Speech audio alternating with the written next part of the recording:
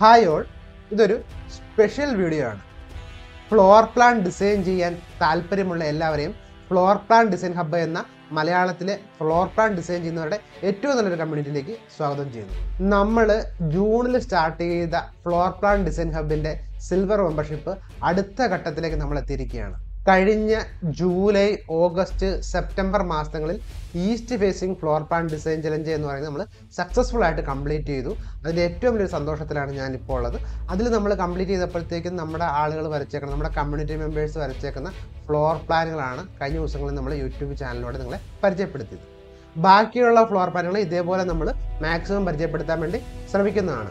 അപ്പോൾ ഇതുവരെ നമ്മൾ ഇതിനു മുമ്പ് പരിചയപ്പെടുത്തിയിട്ടുള്ള ഫ്ലോർ പ്ലാനുകൾ നിങ്ങൾ കണ്ടിട്ടില്ല എന്നുണ്ടെങ്കിൽ വാസ്തു അഡ്വൈസർ എന്ന് പറയുന്ന യൂട്യൂബ് ചാനലിന്റെ അകത്ത് ഫ്ലോർ പ്ലാൻ ഡിസൈൻ ഹബ്ബ് എന്ന് പറയുന്ന പ്ലേലിസ്റ്റിൽ നമ്മൾ അപ്ലോഡ് ചെയ്തിട്ടുണ്ട്.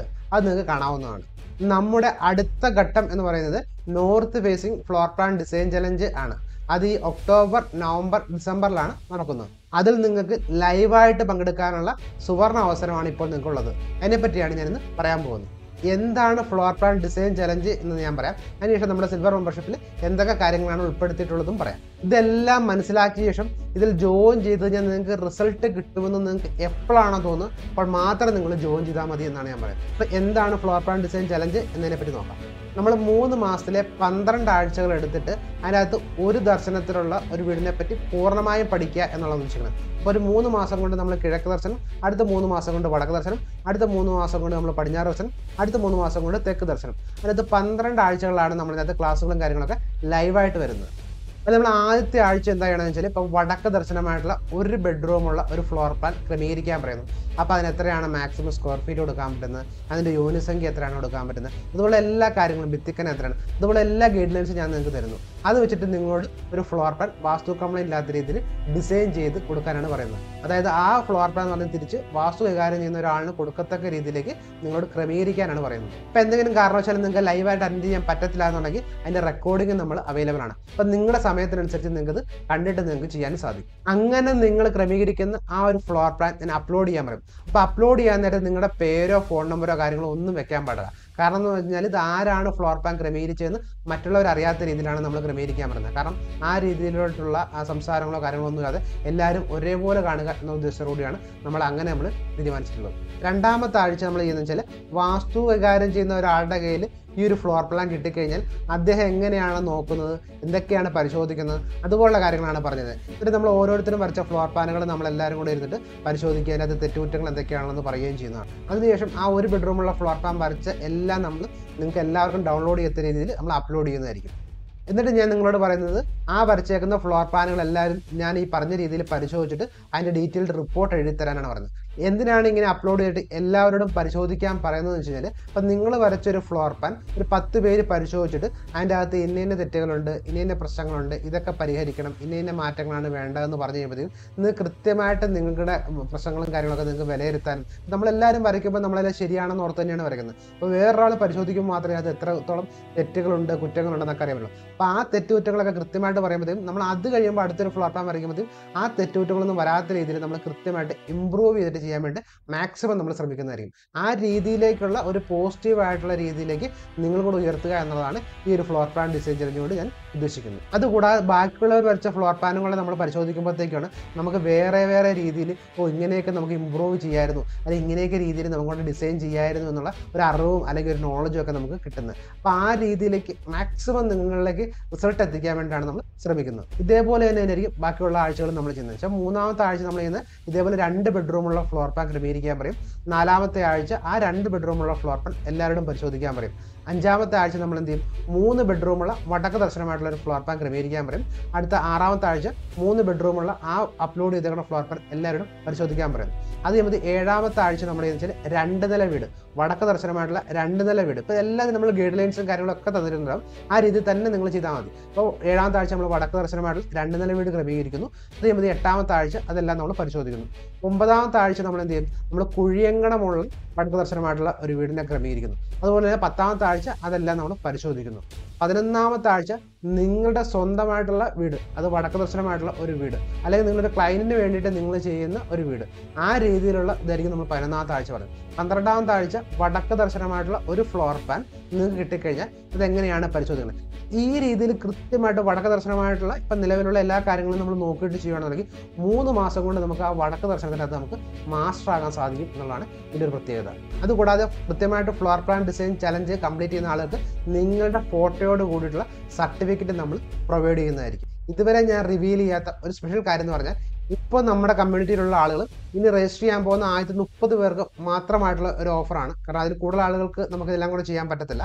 അപ്പോൾ അങ്ങനെയുള്ള ആളുകൾക്ക് അവരവർ വരയ്ക്കുന്ന ആ ഒരു ഫ്ലോർ പ്ലാന്റെ ഡിസൈനും കാര്യങ്ങളും ഒക്കെ നമ്മൾ നമ്മുടെ നിങ്ങളുടെ ഫോട്ടോ ഉൾപ്പെടെ നമ്മുടെ യൂട്യൂബ് ചാനലും ഫേസ്ബുക്ക് ചാനലും നമ്മൾ പ്രൊഡ്യൂസ് ചെയ്തിരിക്കുന്നു. കഴിഞ്ഞ ദിവസം നിങ്ങൾ ഒരു ബെഡ്റൂം ആയിട്ടുള്ള ഫ്ലോർ പ്ലാൻ എന്ന് പറഞ്ഞ് ഞാൻ കഴിഞ്ഞ ദിവസം ചെയ്തിട്ടുണ്ടല്ലോ അതേപോലെ നിങ്ങളുടെ ഫോട്ടോകൾ ഒക്കെ ഉൾപ്പെടെ നിങ്ങൾ ഡിസൈൻ ചെയ്ത കാര്യങ്ങളൊക്കെ നമ്മൾ അപ്ലോഡ് ചെയ്യുന്നതായിരിക്കും. അത് നിങ്ങൾക്ക് എവിടെ വേണമെങ്കിലും നിങ്ങൾക്ക് പ്രൊമോട്ട് ചെയ്യാനോ ഷെയർ ചെയ്യാനോ ഒക്കെ നിങ്ങൾക്ക് നല്ല സ്വാതന്ത്ര്യവും കാര്യങ്ങളൊക്കെ ഉണ്ടാവും.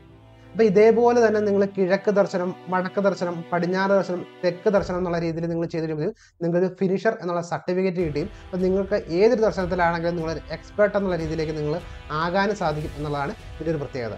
അങ്ങനെ നിങ്ങൾ നാല് ചലഞ്ച് കംപ്ലീറ്റ് ചെയ്യുന്ന ആളുകൾക്ക് ഒരു one to one zoom meeting വയ്ക്കും അതിന്റെ അത് ഞാൻ ചോദിക്കുന്ന ചോദ്യം എന്ന് കഴിഞ്ഞാൽ നിങ്ങൾ ഈ ഫ്ലോർ പ്ലാൻ ഡിസൈൻ ഹബിൽ ജോയിൻ ചെയ്തതിന് മുമ്പും ജോയിൻ ചെയ്തതിന് ശേഷമുള്ള നിങ്ങളുടെ മാറ്റം എന്താണെന്ന്. അപ്പം ഈ കൃത്യമായിട്ട് എനിക്ക് ആ ഒരു സമയത്ത് നിങ്ങൾ പറയാൻ പോകുന്ന ആൻസർ എന്താണെന്നുള്ളത് എനിക്കറിയാം. ആ രീതിയിലേക്ക് നിങ്ങളെ ആക്കുക ആ ഒരു റിസൾട്ടിലേക്ക് നിങ്ങളെ എത്തിക്കാൻ വേണ്ടിയാണ് ഞാൻ ഈ കാര്യങ്ങളെല്ലാം ചെയ്യുന്നത്. നമ്മുടെ കമ്മ്യൂണിറ്റിയിൽ ഇതിനു മുമ്പ് ജോയിൻ ചെയ്തവർക്ക് ജോയിൻ ചെയ്ത അതേ ഓഫറോട് കൂടി തന്നെ നിങ്ങൾക്ക് ഇപ്പോൾ ജോയിൻ ചെയ്യാനുള്ള ഒരു അവസരമാണ്.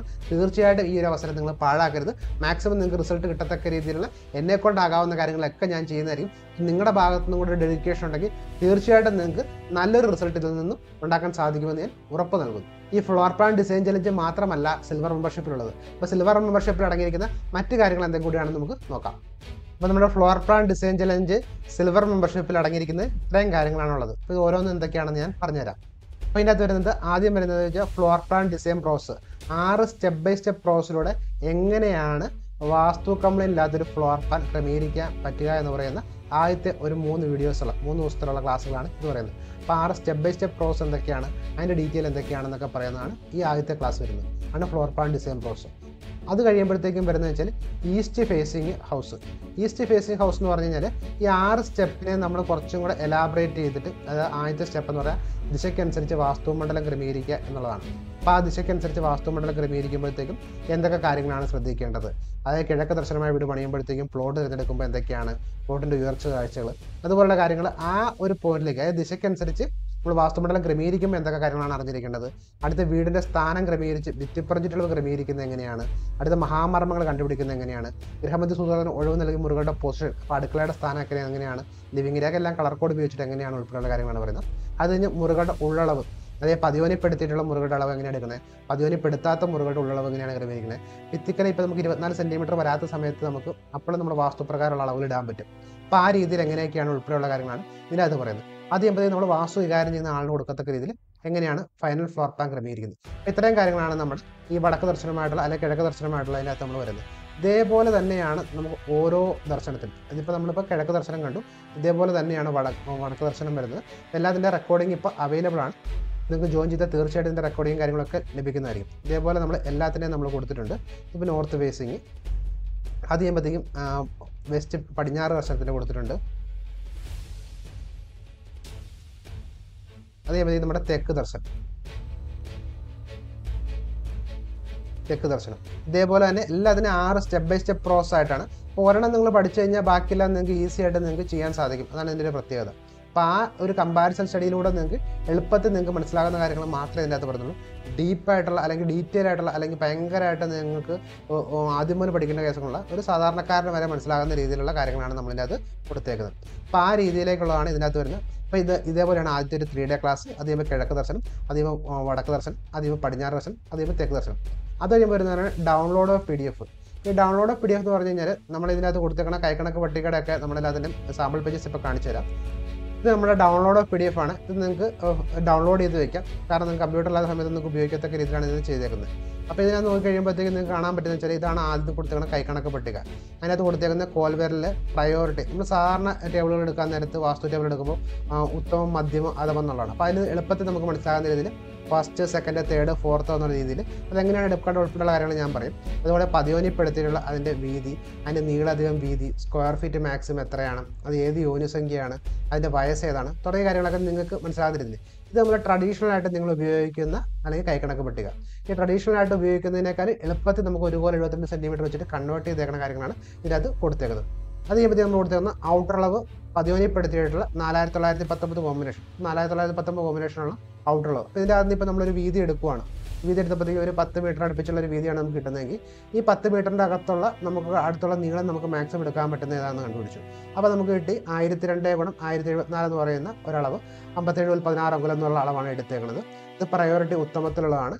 അത് ആയിരത്തി ഇരുന്നൂറ്റി അമ്പത്തേഴ് സ്ക്വയർ ഫീറ്റ് ഉള്ളതാണ് അഞ്ചെന്നുള്ള യോനിസംഖ്യയിലാണ് കൗമാരം. അപ്പോൾ നമ്മൾ ആദ്യം യോനി നോക്കിയിട്ടാണ് നമ്മൾ എടുക്കുന്നത്. അപ്പോൾ ഈ ഒരു അളവാണ് നമ്മൾ എടുത്തതെങ്കിൽ നമ്മുടെ മുറ്റത്തിന്റെ അളവെടുത്ത് മാക്സിമം എടുക്കാൻ പറ്റുന്ന അളവാണെങ്കിൽ ഈ അമ്പത്തിയേഴ് മുതൽ പതിനാറ് അങ്കുലത്തിൽ ഈ ആയിരത്തി രണ്ട് ഇന്റു ആയിരത്തി നാല് എന്ന് പറയുന്ന ഒരളവ് മാത്രമല്ല ഉള്ളത്. അതേപോലത്തെ ഒത്തിരി അളവുകൾ പതിവനിപ്പെടുത്തിയ അളവെടുക്കാം അതേപോലെ എടുക്കാൻ പറ്റുന്ന ഒത്തിരി അളവുകളാണ് ഈ ടേബിളിൽ കൊടുത്തേക്കുന്നത് അപ്പോൾ നമുക്ക് ഈസി ആയിട്ട് നമ്മുടെ മുറ്റത്തിന്റെ അളവ് അഡ്ജസ്റ്റ് ചെയ്തിട്ട് നമുക്ക് കൃത്യമായിട്ട് നമുക്ക് ഏതാണോ മുറ്റത്തിന്റെ അളവ് വേണ്ടതെന്നുള്ള കണക്ക് കൃത്യമാക്കിയിട്ട് നമുക്ക് ചെയ്യാൻ പറ്റും. അതാണ് ഈ കൊടുത്തേക്കുന്നത് അപ്പം ഈ അമ്പത്തേഴ് മുതൽ പതിനാറ് അങ്കുലം എന്ന് പറയുന്ന ഒരളവല്ല ഉള്ളത്.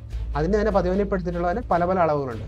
ആ ടേബിളാണ് ഈ കൊടുത്തേക്കുന്നത് ഇതിപ്പോൾ പതിവനിപ്പെടുത്തിയതും പതിവനിപ്പെടുത്താത്തതുമായിട്ടുള്ള ഒരു ഒമ്പതിനായിരത്തി അറുപത്തൊമ്പത് കോമ്പിനേഷനുള്ള അളവുകൾ ഇതെല്ലാം നമുക്ക് സ്വീകരിക്കാൻ പറ്റുന്ന അളവാണ് അപ്പോൾ ഇതും അതേപോലെ തന്നെ കൊടുക്കത്തക്ക രീതിയിൽ ആണ് ക്രമീകരിച്ചേക്കുന്നത് അങ്ങനെയാണ് ഈ ഒമ്പതിനായിരത്തി എണ്ണൂറ്റി അറുപത്തൊമ്പത് കോമ്പിനേഷൻ അപ്പോൾ ഈ ഒമ്പതിനായിരത്തി എണ്ണൂറ്റി അറുപത്തൊമ്പത് കോമ്പിനേഷനിൽ നിന്നുള്ള ആ കൃത്യമായിട്ടുള്ള യോനിസംഖ്യ നോക്കിയിട്ട് നമ്മുടെ വയസ്സ് നോക്കിയിട്ട് നമ്മുടെ ബഡ്ജറ്റ് സ്ക്വയർ ഫീറ്റ് നോക്കിയിട്ട് നമുക്ക് പ്രയോറിറ്റി നോക്കിയിട്ട് നിങ്ങൾക്ക് കൃത്യമായിട്ട് നിങ്ങൾക്ക് ഏത് ചുറ്റളവാണെന്നുള്ളത് നോക്കിയിട്ട് നിങ്ങൾക്ക് എടുക്കത്തക്ക രീതിയിലാണ് ക്രമീകരിക്കുന്നത്. അപ്പോൾ ഇതെങ്ങനെയാണ് ഇതിനകത്ത് എടുക്കുന്ന ഉൾപ്പെടെയുള്ള കാര്യങ്ങൾ നമ്മൾ നമ്മുടെ വീഡിയോയ്ക്കകത്ത് പറയുന്നുണ്ട്. ആ രീതിയിലാണ് നമ്മുടെ ക്ലാസ്സുകളും കാര്യങ്ങളൊക്കെ. അപ്പോൾ ഈ ടേബിളുകളിൽ നിന്നും എങ്ങനെയാണ് ഈസി ആയിട്ട് ചെയ്യാൻ പറ്റും അപ്പോൾ ഒരു മൂന്നിലൊന്ന് സമയം കൊണ്ട് നിങ്ങൾക്ക് ഇപ്പോൾ ഉള്ളതിനേക്കാൾ ഈസി ആയിട്ട് നിങ്ങൾക്ക് ചെയ്യാൻ പറ്റും. ഇപ്പോൾ സാധാരണ നിങ്ങൾ ചെയ്യുന്നത് നീളധികം വീതി ഗുണം രണ്ട് ഭാഗം എഴുപത്തിരണ്ടൊക്കെ ഇട്ട് ചെയ്യണം. അതിന്റെ ഒന്നും ആവശ്യമില്ലാത്ത രീതിയിൽ അതിനകത്ത് കൃത്യമായിട്ട് നിങ്ങൾക്ക് ഔട്ടളവൊക്കെ എടുക്കാം.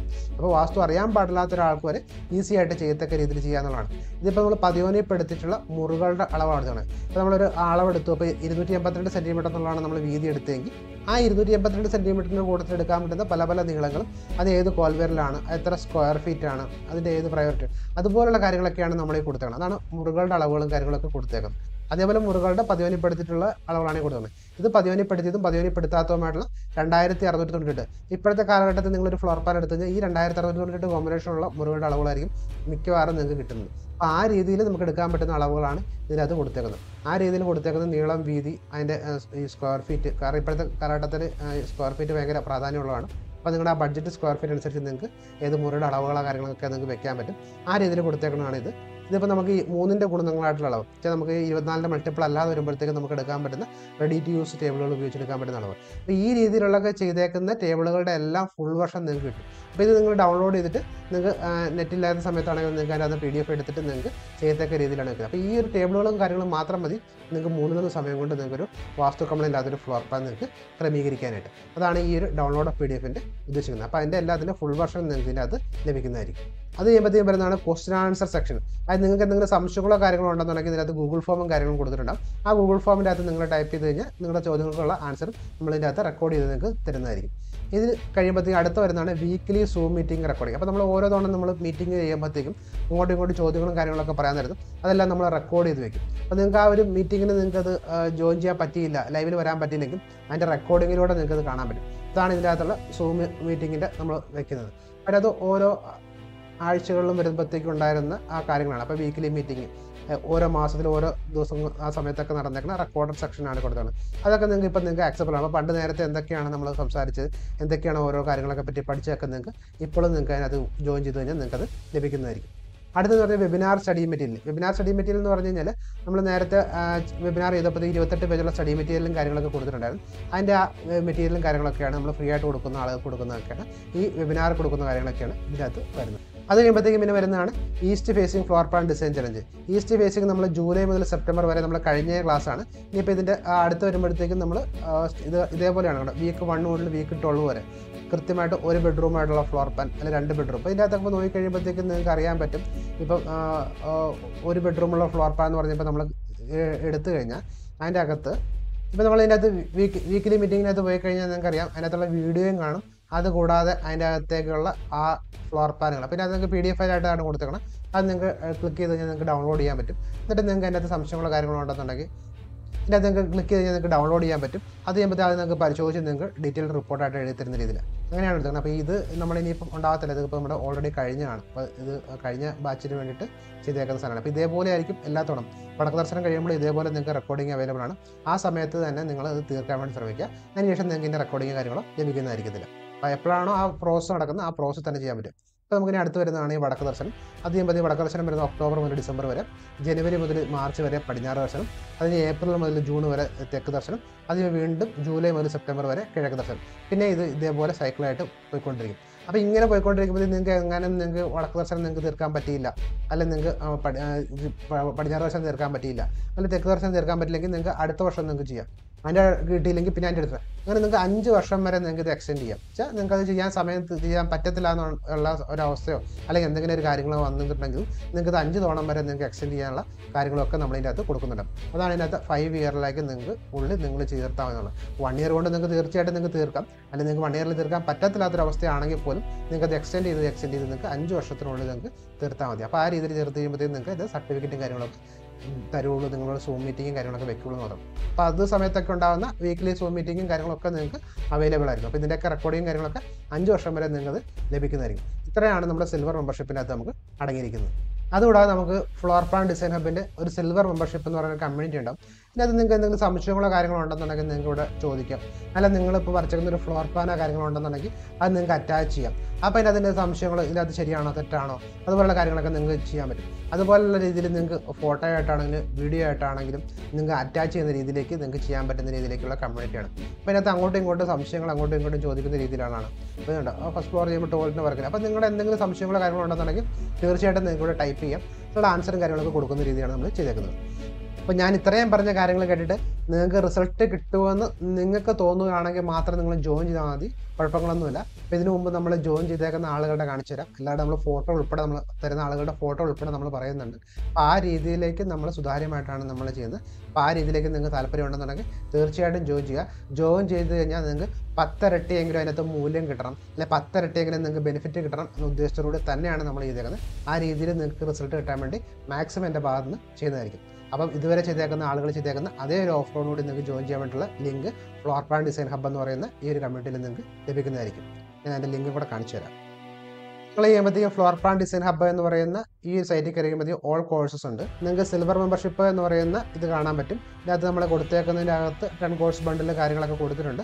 അതിന്റെ അകത്ത് പോയിട്ട് നിങ്ങൾക്ക് താഴെ ഇതിന്റെ അകത്ത് നമ്മൾ പറഞ്ഞ കാര്യങ്ങളൊക്കെ ഇൻക്ലൂഡ് ചെയ്തിട്ടുണ്ട് ഇതിന്റെ അകത്ത് നിങ്ങൾക്ക് ബൈനോ എന്നുള്ളത് ക്ലിക്ക് ചെയ്ത് കഴിഞ്ഞാൽ നിങ്ങൾക്ക് ഇതിനകത്ത് ജോയിൻ ചെയ്യാൻ സാധിക്കും. ഇത് നിങ്ങളുടെ താഴെ നോക്കി കഴിയുമ്പോഴത്തേക്കും നിങ്ങളുടെ ഒരു പേയ്മെന്റ് ഓപ്ഷനും കാര്യങ്ങളും കാണും. ഇവിടെ നിങ്ങളുടെ മെയിൽ ഐ ഡി നിങ്ങളുടെ പേരും നിങ്ങളുടെ ഫോൺ നമ്പറും എടുത്തിട്ട് നിങ്ങൾക്ക് റേസർ പേ എന്ന് പറഞ്ഞതിനകത്ത് ക്ലിക്ക് ചെയ്ത് കഴിഞ്ഞാൽ നിങ്ങൾക്ക് നിങ്ങൾക്ക് എ ടി എം കാർഡ് വെച്ചിട്ടോ ഡെബിറ്റ് കാർഡ് വെച്ചിട്ടോ നിങ്ങൾക്ക് നെറ്റ് ബാങ്ക് വെച്ചിട്ടോ ഏത് വെച്ച് വേണമെങ്കിലും നിങ്ങൾക്ക് അത് ജോയിൻ ചെയ്യാൻ സാധിക്കും. അപ്പോൾ കമ്മ്യൂണിറ്റിയിലേക്ക് ഞാൻ എല്ലാവരും എന്റെ ഹൃദയത്തിന്റെ ഭാഷയിൽ ഞാൻ സ്വാഗതം ചെയ്യുന്നു. അടുത്ത ലൈവ് മീറ്റിംഗ് നമുക്ക് തീർച്ചയായിട്ടും ഒരുമിച്ച് കാണാം. താങ്ക്